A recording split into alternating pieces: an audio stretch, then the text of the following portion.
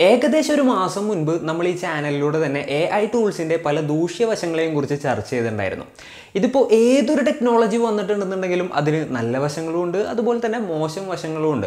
അതായത് ആ ഒരു സംഭവം എങ്ങനെ ആളുകൾ യൂസ് ചെയ്യുന്നു എന്നുള്ളതിനനുസരിച്ചിട്ടിരിക്കും അതിന്റെ നന്മയും തിന്മയും. അതായത് ഒരു കത്തി കൊണ്ട് നമുക്ക് ഒരു ഫ്രൂട്ടും മുറിക്കാം അതുപോലെ തന്നെ ഒരാളെ കുത്തി കൊല്ലുകയും ചെയ്യാമെന്ന് പറയുന്നത് പോലെ തന്നെയാണ് ഏതൊരു ടെക്നോളജി എന്നുള്ളത്. ഈ എ റൂൾസിന്റെ കാര്യം പറയാന്നുണ്ടെങ്കിൽ കുറച്ച് ദിവസം മുൻപ് ഗോഡ് ഫാദറിൽ മലയാളത്തിലെ പ്രമുഖ നടന്മാർ അഭിനയിച്ചാൽ എങ്ങനെ ഉണ്ടാവും എന്നുള്ളതൊക്കെ നമ്മൾ കണ്ട് എൻജോയ് ചെയ്ത ആളുകൾ തന്നെയാണ്. ഡീപ് ഫേക്ക് ടെക്നോളജിയിലൂടെയാണ് ഇത്തരത്തിലുള്ള വീഡിയോസും മറ്റുമൊക്കെ നിർമ്മിക്കുന്നത്. അപ്പോൾ നമ്മളിന്ന് സംസാരിക്കാൻ പോകുന്നത് A I deep fake related ആയിട്ട് കേരളത്തിൽ കഴിഞ്ഞ ദിവസം ഒരു തട്ടിപ്പ് നടന്നിട്ടുണ്ടായിരുന്നു. ഏകദേശം നാൽപ്പതിനായിരം രൂപയാണ് ഒരാൾക്ക് നഷ്ടപ്പെട്ടിട്ടുണ്ടായത്. വരുന്ന സമയങ്ങളിൽ പല തരത്തിലുള്ള ഇത്തരത്തിലുള്ള തട്ടിപ്പിന്റെ വാർത്തകൾ നമ്മൾ കേൾക്കേണ്ടതായിട്ട് വരും എന്നുള്ള വളരെ ഭയാനകമായിട്ടുള്ള ഒരു ഒരു ഫ്യൂച്ചറിന്റെ മുന്നിൽ തന്നെയാണ് നമ്മൾ നിൽക്കുന്നത്. പല ആളുകളും അതിൽ പെട്ടുപോകാനുള്ള സാധ്യതയുണ്ട് എന്നുള്ളത് നമുക്ക് തള്ളിക്കളയാനായിട്ട് സാധിക്കില്ല. അപ്പോൾ എന്താണ് അവിടെ സംഭവിച്ചത്? അതുപോലെ തന്നെ ഇതിൽ നിന്ന് നമുക്ക് എങ്ങനെ രക്ഷപ്പെടാൻ സാധിക്കും? ഇത്തരത്തിലുള്ള കുറച്ച് കാര്യങ്ങളാണ് ഇന്നത്തെ വീഡിയോയിലൂടെ നമ്മൾ ചർച്ച ചെയ്യാനായിട്ട് ഉദ്ദേശിക്കുന്നത്. Hello guys welcome back to the channel ricin this side ജോലി തട്ടിപ്പ് ലോൺ ആപ്പ് തട്ടിപ്പ് ആ തട്ടിപ്പ് ഈ തട്ടിപ്പ് ഫിഷിങ് അങ്ങനെ പല തരത്തിലുള്ള തട്ടിപ്പുകളെ കുറിച്ച് ഇങ്ങനെ ഡെയിലി ബേസിസിൽ നമ്മൾ കേട്ടുകൊണ്ടിരിക്കുകയാണ്. ഇപ്പോൾ അതിന്റെ ഉള്ളിലോട്ട് പുതിയതായിട്ട് വന്ന ഒരാളാണ് എ ഐ തട്ടിപ്പ്. ഈ എ ഐ ഡി ഫേക്ക് ഒക്കെ യൂസ് ചെയ്തിട്ട് ആരെക്കുറിച്ച് എങ്ങനത്തെ വീഡിയോസ് വേണമെന്നുണ്ടെങ്കിലും വളരെ എളുപ്പത്തിൽ നിർമ്മിക്കാനായിട്ട് സാധിക്കും. കഴിഞ്ഞ ദിവസം കേരളത്തിൽ ആദ്യമായിട്ട് അത്തരത്തിലുള്ള ഒരു തട്ടിപ്പ് നടന്നതിന്റെ വാർത്തകളാണ് നമ്മൾ കേട്ടത്. അതും വീഡിയോ കോളിലൂടെയാണ് തട്ടിപ്പ് നടത്തിയത്. അതായത് ഒരു സുഹൃത്തിനെ വീഡിയോ കോൾ മുഖേന വിളിച്ചിട്ട് ഇത്തരത്തിലൊരു തട്ടിപ്പ് നടത്തുമായിരുന്നു സ്വന്തം ഫ്രണ്ടാണ് സംസാരിക്കുന്നതെന്ന് വിചാരിച്ചുകൊണ്ടായിരുന്നു ഇയാൾ പൈസ ട്രാൻസ്ഫർ ചെയ്ത് കൊടുത്തിട്ടുണ്ടായത്. ഈ ഒരു കാലഘട്ടത്തിൽ നമുക്ക് നമ്മളുടെ സ്വന്തം കണ്ണുകളെ പോലും വിശ്വസിക്കാൻ സാധിക്കില്ല എന്നുള്ളൊരു കാര്യമാണ് നമ്മൾ ഇതിന്റെ ഉള്ളിൽ നിന്നും മനസ്സിലാക്കേണ്ടത്. കോഴിക്കോട് സ്വദേശിയായിട്ടുള്ള രാധാകൃഷ്ണൻ എന്ന് പറയുന്ന ഒരു റിട്ടയർഡ് ഉദ്യോഗസ്ഥനാണ് ഇത്തരത്തിലുള്ള ഒരു തട്ടിപ്പിനിരയായത്. അതിനുശേഷം നാഷണൽ സൈബർ ക്രൈമിൽ അദ്ദേഹം പരാതി നൽകുകയായിരുന്നു. അതിനുശേഷം കോഴിക്കോട് സൈബർ പോലീസാണ് ഈ ഒരു കേസ് അന്വേഷിച്ചത്. ഡീപ് ഫേക്ക് ടെക്നോളജി യൂസ് ചെയ്തിട്ട് ഒരാളുടെ രൂപവും അതുപോലെ തന്നെ സൗണ്ടും ഒക്കെ ഉണ്ടാക്കിയിട്ടാണ് കേട്ടോ ഇത്തരത്തിലുള്ള ഒരു തട്ടിപ്പ് അവർ നടത്തിയിട്ടുണ്ടായത്. അപ്പോൾ ഇദ്ദേഹത്തിന് സംഭവിച്ച ഒരു കാര്യം എങ്ങനെയായിരുന്നു എന്ന് വെച്ച് കഴിഞ്ഞിട്ടുണ്ടെങ്കിൽ ഒരു ദിവസം രാവിലെ ഒരു അഞ്ച് മണി തുടങ്ങിയിട്ട് ആളുടെ ഫോൺ റിങ് ചെയ്യാണ്. പരിചയമില്ലാത്തൊരു നമ്പർ ആയതുകൊണ്ട് തന്നെ ആൾ ആ ഒരു ഫോണൊന്നും അറ്റൻഡ് ചെയ്തിട്ടുണ്ടായിരുന്നില്ല. പിന്നീട് നേരം വെളുത്ത് നോക്കിയപ്പോൾ കുറച്ച് വാട്സപ്പ് മെസ്സേജസും വന്നിട്ടുണ്ടായിരുന്നു. ആ ഒരു മെസ്സേജിൽ നിന്ന് തന്റെ സുഹൃത്താണിതെന്ന് അദ്ദേഹം മനസ്സിലാക്കുകയാണ് ഉണ്ടായത്. അതായത് ഇപ്പോൾ ദുബായിലുള്ള ആന്ധ്രാക്കാരനായിട്ടുള്ള ഒരു സുഹൃത്താണ് ഈ മെസ്സേജ് അയക്കുന്നത് എന്നുള്ള രീതിയിലുള്ള മെസ്സേജസ് ആയിരുന്നു അദ്ദേഹത്തിന് വന്നിട്ടുണ്ടായത്. സ്വാഭാവികമായിട്ടുള്ള ഒരു കാര്യമാണല്ലേ? പണ്ട് കൂടെ ജോലി ചെയ്തിരുന്ന സുഹൃത്ത് വാട്സപ്പിൽ മെസ്സേജ് അയക്കുന്നു അതുപോലെ തന്നെ വീട്ടിലത്തെ കാര്യങ്ങൾ അന്വേഷിക്കുന്നു അങ്ങനെ ഇങ്ങനെയുള്ള കാര്യങ്ങളൊക്കെ സാധാരണ കാഷ്വൽ ആയിട്ടുള്ള സംസാരങ്ങൾ നടക്കുന്നു. അതിനുശേഷം ആൾ ഓഡിയോ കോൾ വിളിക്കുന്നു. അതിനുശേഷം എന്താ പറയുക ഓഡിയോ കോളിലൂടെ സംസാരിക്കുന്നു. ഇതിലൊന്നും ആർക്കും വലിയ സംശയവും കാര്യങ്ങളൊന്നും തോന്നില്ലല്ലോ. ഇങ്ങനെയൊക്കെ സംസാരിച്ച് കൺവിൻസ് ചെയ്തിട്ടാണ് ആൾ പൈസ ആവശ്യപ്പെട്ടത്. അതായത് ആളിപ്പോൾ ദുബായിലെ എയർപോർട്ടിലൊക്കെ നിൽക്കുകയാണ് പെട്ടെന്നോട്ട് നാട്ടിലോട്ട് വരികയാണ്. ആളുടെ ഗൂഗിൾ പേ നമ്പറും കാര്യങ്ങളൊക്കെ നാട്ടിലത്തെ സിമ്മുമായിട്ട് ലിങ്ക് ചെയ്തേക്കാണ്. അതുകൊണ്ട് ആൾക്ക് ട്രാൻസാക്ഷൻ ഒന്നും നടത്താനായിട്ട് പറ്റില്ല. അപ്പോൾ പെട്ടെന്നുകൊണ്ട് കുറച്ച് പൈസ ഒക്കെ ആവശ്യമുണ്ട്. നീ ഒന്ന് അയച്ചു തരാന്നുണ്ടെങ്കിൽ നാട്ടിലെത്തിയിട്ടുണ്ടെങ്കിൽ ഞാൻ അപ്പം തന്നെ പൈസ തിരിച്ചു തരാം എന്നുള്ളൊരു രീതിയിലായിരുന്നു ആൾ പറഞ്ഞിട്ടുണ്ടായത്. നാൽപ്പതിനായിരം രൂപയാണ് അയച്ചു കൊടുക്കാനായിട്ട് ആവശ്യപ്പെട്ടത്. ആളുടെ വൈഫൊക്കെ ഹോസ്പിറ്റലിലാണ് അതുപോലെ തന്നെ ഉള്ള കാര്യങ്ങളൊക്കെ സംസാരിച്ചു. അപ്പോൾ സ്വാഭാവികമായിട്ടും ഇപ്പോൾ നമുക്കാണെന്നുണ്ടെങ്കിൽ നമ്മളുടെ ഒരു ഫ്രണ്ട് ഇങ്ങനെ വിളിച്ചിട്ട് പെട്ടെന്നുകൊണ്ട് പൈസയുടെ ആവശ്യമുണ്ട്. ഞാനിപ്പോൾ നാട്ടിലില്ല. എന്റെ എനിക്കാണെന്നുണ്ടെങ്കിൽ ട്രാൻസാക്ഷൻ ഒന്നും നടത്താനായിട്ട് പറ്റുന്നില്ല. കുറച്ച് ഫണ്ട് നീ ഒന്ന് ഇടുമോ എന്ന് ചോദിച്ചു കഴിഞ്ഞിട്ടുണ്ടെങ്കിൽ പെട്ടെന്നുകൊണ്ട് തന്നെ നമ്മൾ അറിയാണ്ടിട്ട് പോകും. അത് സ്വാഭാവികമായിട്ടുള്ള ഒരു കാര്യമാണ്. എന്നാൽ ഇത്തരത്തിലുള്ള സംസാരവും കാര്യങ്ങളൊക്കെ കഴിഞ്ഞപ്പോഴും ഇദ്ദേഹത്തിന് ചെറിയൊരു സംശയം തോന്നുകയാണ്. അതായത് ഇന്നീ ഒരു കാലത്ത് ഒരുപാടധികം തട്ടിപ്പുകൾ ഇതേപോലെ തന്നെ നടക്കുന്നുണ്ടല്ലോ എന്നുള്ളൊരു സംശയം ഈ ഒരു വ്യക്തിക്ക് അതായത് തട്ടിപ്പിനിരയായ വ്യക്തിക്ക് തോന്നി എന്നുള്ളത് തന്നെയാണ് ഒരു വാസ്തവം. അതായത് സംസാരത്തിൽ സംശയമൊന്നും തോന്നിയില്ല എന്നാലും ഇന്നത്തെ കാലത്ത് ഇത്തരത്തിലുള്ള തട്ടിപ്പുകളൊക്കെ നടക്കുന്നുണ്ടല്ലോ എന്നുള്ളൊരു സംശയം അദ്ദേഹത്തിന് തോന്നി. അദ്ദേഹം ഈ ഒരു കാര്യം പറഞ്ഞു. അപ്പോൾ എന്താ സംഭവിച്ചതെന്ന് വെച്ച് കഴിഞ്ഞിട്ടുണ്ടെങ്കിൽ ഒരു വീഡിയോ കോൾ വരികയാണ്. ആളാണെന്ന് കൺഫേം ചെയ്യുന്ന രീതിയിലുള്ള ഒരു വീഡിയോ കോൾ ആയിരുന്നു അത്. അതുപോലെ തന്നെ ഫോൺ ആൾ വളരെയധികം അടുപ്പിച്ച് പിടിച്ചൊക്കെയായിരുന്നു അതുകൊണ്ട് തന്നെ ഫേസും കാര്യങ്ങളും മാത്രമേ കാണുന്നുണ്ടായിരുന്നുള്ളൂ. ചില ആളുകൾ വീഡിയോ കോൾ ചെയ്യുമ്പോൾ ഇങ്ങനെ അടുപ്പിച്ച് പിടിച്ചിട്ട് വീഡിയോ കോൾ ചെയ്യുന്ന ആളുകളുണ്ട്. അപ്പോൾ അദ്ദേഹം അങ്ങനെ വിചാരിച്ചു. അതായത് സറൗണ്ടിങ്സ് ഒന്നും കാണുന്നുണ്ടായിരുന്നില്ല. ആളുടെ ഫേസ് മാത്രമായിരുന്നു കാണുന്നുണ്ടായിരുന്നത്. അപ്പോൾ തന്റെ സുഹൃത്താണെന്ന് വീഡിയോ കോളിലൂടെയും ആൾക്ക് ഉറപ്പായതിന് ശേഷം മാത്രമാണ് അദ്ദേഹം പണം ട്രാൻസ്ഫർ ചെയ്ത് കൊടുത്തത്. അങ്ങനെ അത് കഴിഞ്ഞു. എന്നാൽ അതിനുശേഷം ഈ ഒരു സുഹൃത്ത് എന്ന് പറയുന്ന ഒരു കള്ളനുണ്ടല്ലോ. ആൾ വീണ്ടും ഇദ്ദേഹത്തെ വിളിക്കുകയാണ്. ഇനിയും പണം ആവശ്യപ്പെട്ടുകൊണ്ടായിരുന്നു വിളിച്ചത്.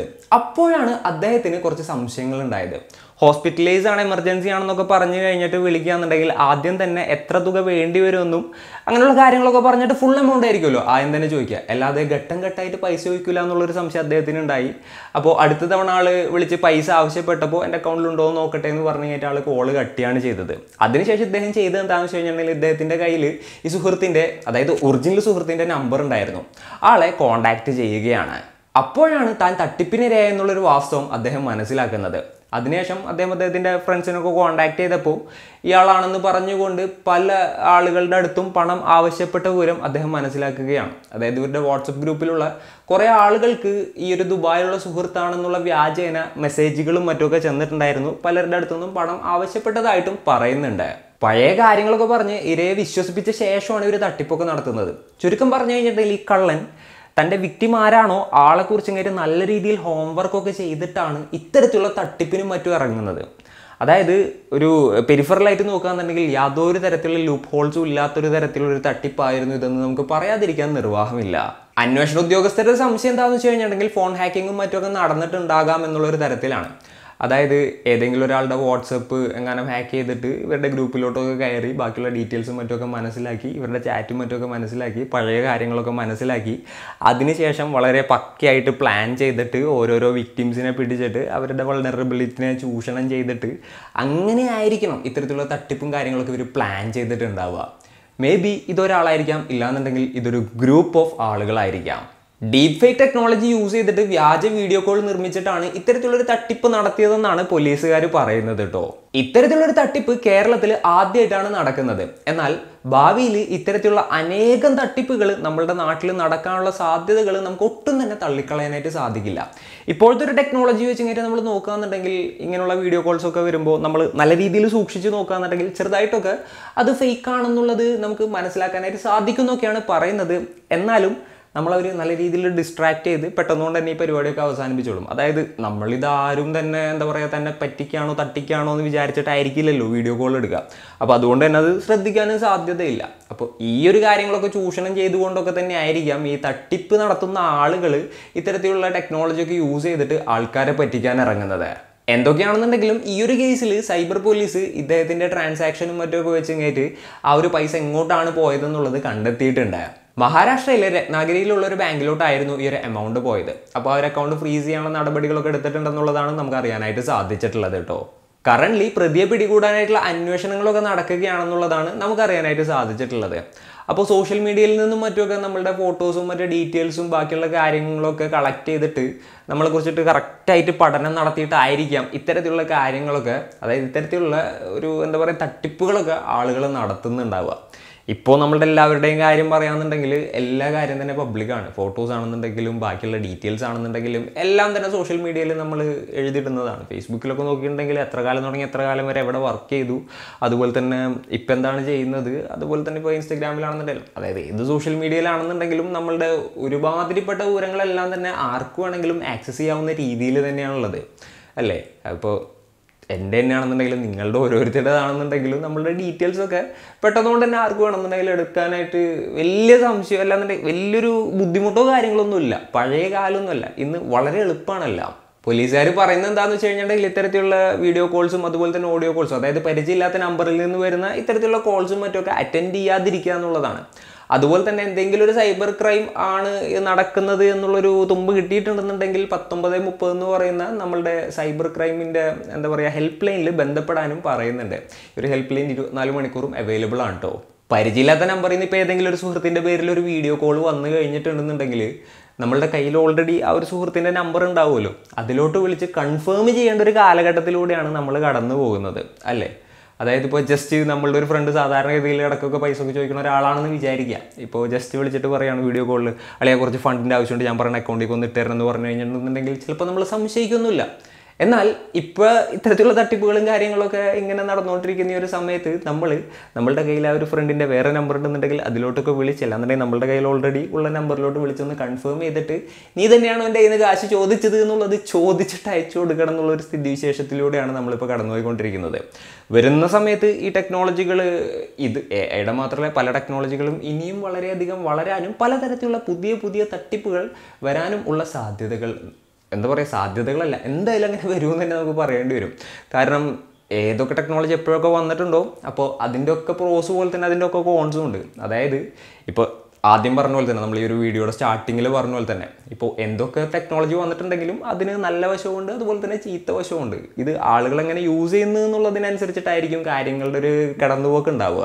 ഇതിലിപ്പോൾ നമ്മൾ എന്താ ചെയ്യേണ്ടതെന്ന് വെച്ച് കഴിഞ്ഞിട്ടുണ്ടെങ്കിൽ ഇങ്ങനെയുള്ള കോളുകളും മറ്റൊക്കെ പരിചയമില്ലാത്ത നമ്പർ നിന്ന് വരാന്നുണ്ടെങ്കിൽ അവോയ്ഡ് ചെയ്യുക ഇനിയിപ്പോൾ ഏതെങ്കിലും ഒരു ഫ്രണ്ട് വീഡിയോ കോൾ വിളിക്കുകയാണെന്നുണ്ടെങ്കിൽ മുപ്പരെ നമ്മൾ നമ്മുടെ കയ്യിലുള്ള നമ്പർ വെച്ച് വിളിച്ചെങ്കിൽ കൺഫേം ചെയ്യുക ഇല്ലാന്നുണ്ടെങ്കിൽ വേറെ ഏതെങ്കിലും ഫ്രണ്ടിനോ അല്ലാന്നുണ്ടെങ്കിൽ അവരുടെ റിലേറ്റീവ്സിനോ വിളിച്ചെങ്കിൽ കൺഫേം ചെയ്യേണ്ട ഒരു അവസ്ഥയിലൂടെയൊക്കെയാണ് കടന്നു പോകുന്നത് അല്ലേ? നാളെ വേറെ എന്തൊക്കെ ടെക്നോളജി വരുമെന്നും എങ്ങനെയൊക്കെ നമ്മൾ ആൾക്കാർ പറ്റിക്കുമെന്നുള്ളതൊക്കെ നമുക്ക് സ്വപ്നം പോലും കാണാൻ പറ്റില്ല. സ്വാഭാവികമായിട്ടുള്ളൊരു കാര്യമാണ്. അപ്പോൾ ഈ ഒരു വീഡിയോയിലൂടെ ഞാൻ പറയാൻ ഉദ്ദേശിച്ചത് എന്താണെന്ന് വെച്ച് കഴിഞ്ഞിട്ടുണ്ടെങ്കിൽ പലതരത്തിലുള്ള തട്ടിപ്പുകൾ ഇനിയും നടക്കും നടന്നുകൊണ്ടേയിരിക്കും.